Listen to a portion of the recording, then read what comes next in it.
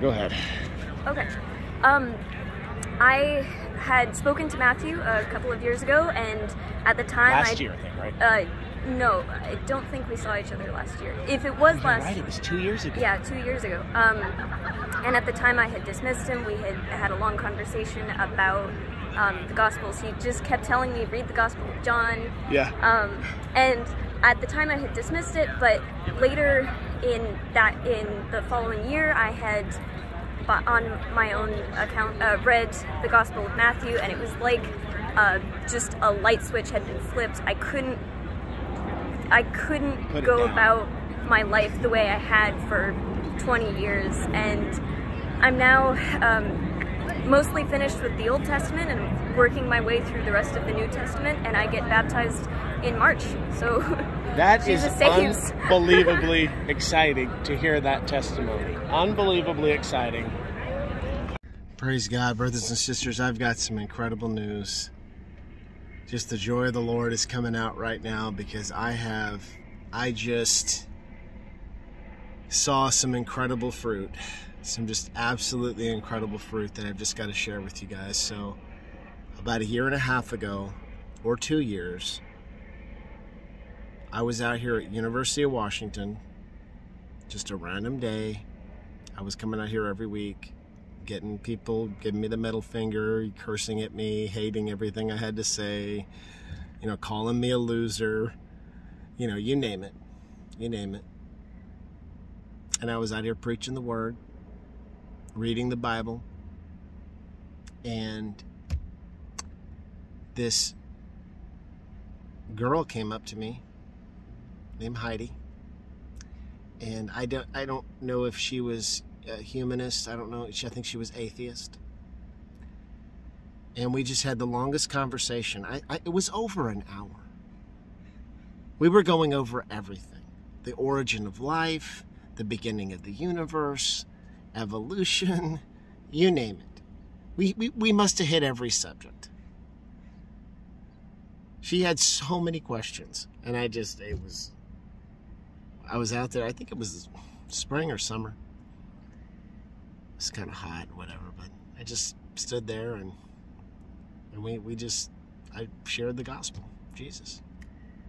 And I remember she was following me back, you know, across the campus, just all these questions, so many questions, and I was trying to give her the right answers. And before I left, I said, Heidi, do me one favor. Before you make a decision about whether or not to reject Christ, promise me you'll do one thing. Read the Gospel of John. It's 21 chapters. Just read the Gospel of John. That was the last thing I said to her. Read the Gospel of John. Well, today I'm out preaching. This is a year and a half later, 18 months later, almost two years. Today I'm preaching. This is October 12th. And Heidi comes up to me again. And I could tell it was Heidi. I remembered her face. And she said, Guess what? I said, What? She said, I read the Gospel of John. But not only did I read the Gospel of John, I'm reading the Gospel of Matthew. And I'm also getting baptized next week because I'm, I'm, a, I'm a believer. I'm saved. I mean, I just, brothers and sisters, I, I didn't do anything. I didn't do anything. That was all God opening up the heart of this young woman. Just like he opened up Lydia's heart. I didn't do anything. And I don't I don't even want to put this video out to, to, to take credit for helping Heidi get saved. That's not what this is about. I mean, this is a testament to just being faithful to the gospel. Everybody, everybody says, "Oh, street preaching never works. Campus preaching never works. You're not getting enough people saved that way. It just doesn't work. It doesn't work." Oh, brothers and sisters, it works. Just doesn't work the way you think it does. It works. It doesn't work the way you think it does. See, it took 18 months for her to come to Jesus Christ? 18 months?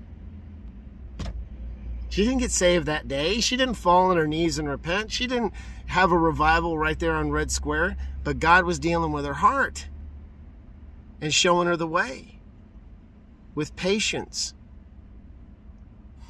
with grace. So it's just incredible, uh, you know, testament. Heidi, you're probably going to watch this too. Praise God. I'm just overjoyed. Um, because it has nothing to do with religion. I wasn't trying to get Heidi to go to church. I wasn't trying to get Heidi to join a congregation. I wasn't getting trying to get Heidi to to become, you know, religious. I was simply telling her about Christ and that he is the only way. that's that's it. So I'm kind of I'm kind of encouraged right now. I'm I'm kind of encouraged because um, we don't get to see that very often.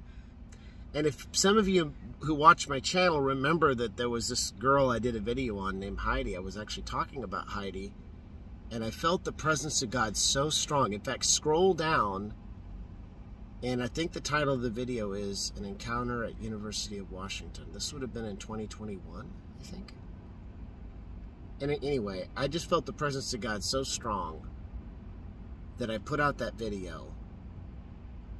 And I thought, and I said, the thing I said that video was that God did something in that woman's life.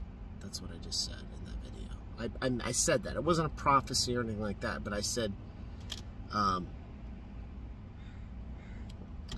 God, God is doing something in that woman's life. And he did. he, he did. He did. He did something that day. For eternity. Praise God. I just getting I'm encouraged. So praise God. That's a that's a that's a great testimony. I actually got a, a video testimony of Heidi and I'm gonna put it up so that you guys can see who she is. And she's now part of the kingdom. Glory to God. Amen.